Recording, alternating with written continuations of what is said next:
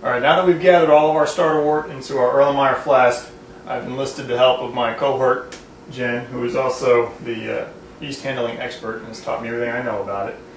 So next we're going to open this packet of yeast, which I've just now pulled out of the sanitizer. I've also sanitized my little um, scissors to open the packet.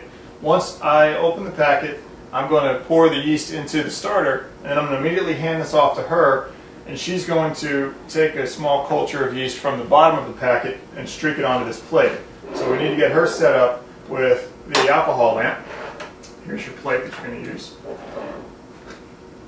It is good to have two hands in this process because you want to minimize exposure as much as possible.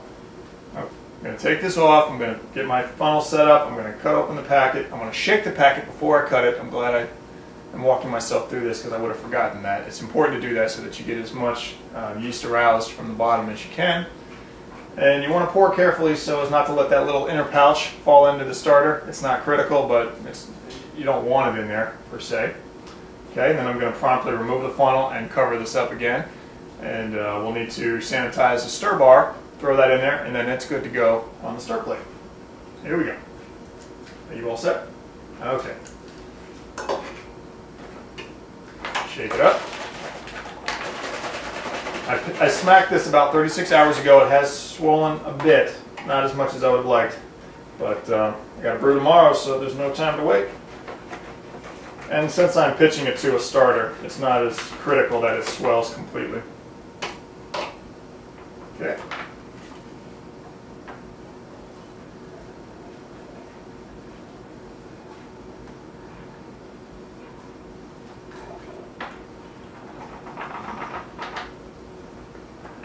There you go. Try to get out of the way so you can see what she's doing. She's just basically taking her flamed loop and sticking it right to the bottom of this packet. There's still plenty of yeast in this packet to, uh, to streak a plate. And go ahead and streak the whole plate for this one. Oh boy. Okay, we have a contaminated plate. So what we're going to try to do is salvage this. So if you would, hold on to this. I'll be right back with another plate. We're back. We had to take a short break because uh, upon streaking the plate, we realized this plate was contaminated. Now I want to be careful opening this around this area, but I want to show you what a contaminated plate looks like. And I should have checked this before we went through the process, um, but I didn't, so I'm still learning as we go. So I'm going to open this a little closer to the camera and try to avoid any contamination over here. So if you can see this, and I hope I'm getting it, it's just a big fuzzy patch, almost like a cotton ball. So when we were pouring the plate, uh, something got in there and uh, that's the result. So you know when you have a, a, contaminated plate, it's very obvious. So there's no concern um, at this stage after the plates have been poured for several months and stored in refrigeration that the plates themselves are contaminated. At least until you open them up to streak them, in which case you can, there's the possibility of contaminating them. So we're going to give this a second go. Jen is now flaming the loop. We closed this over as quickly as we could to attempt to um, keep the yeast uh, sterile, not contaminated. And let's see if we can uh, we can pull this off.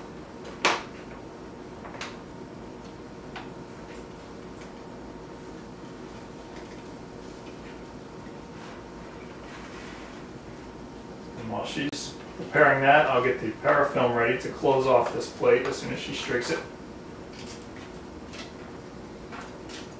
Again, the, the less time the yeast is exposed to potential contamination, the better.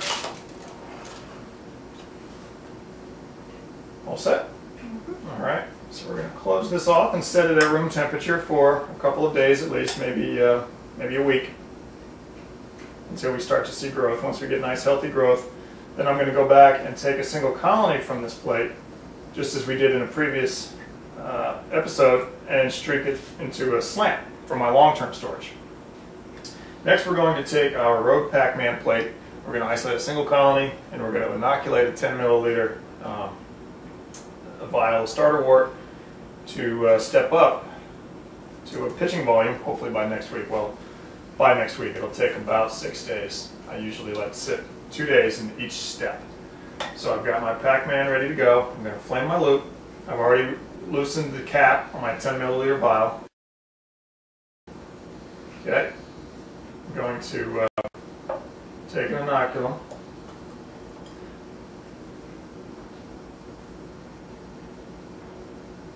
Okay.